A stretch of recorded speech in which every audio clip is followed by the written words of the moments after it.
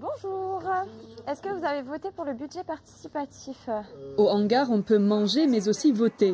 Le café-restaurant solidaire Ajanet est en pleine campagne pour obtenir des votes dans le cadre du budget participatif du Lot-et-Garonne. Le projet, financer l'achat d'un bus itinérant qui donnera une toute nouvelle dimension à ce restaurant anti-gaspi et accessible à tous.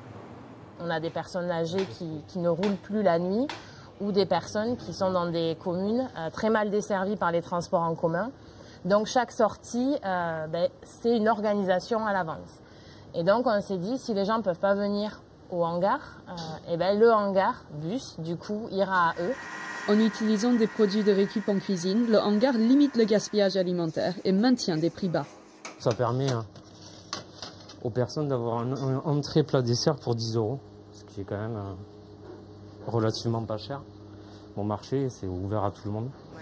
Pour Nathalie et Jean, bénévoles et clients réguliers, c'est surtout ce côté convivial du hangar qui bénéficierait aux personnes isolées en campagne.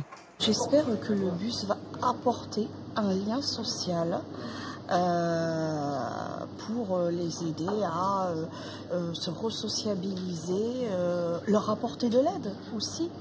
On peut venir manger tout seul, on mangera, on ne sera jamais tout seul à table. L'équipe du hangar demande 50 000 euros pour le financement de ce projet de bus-restaurant solidaire.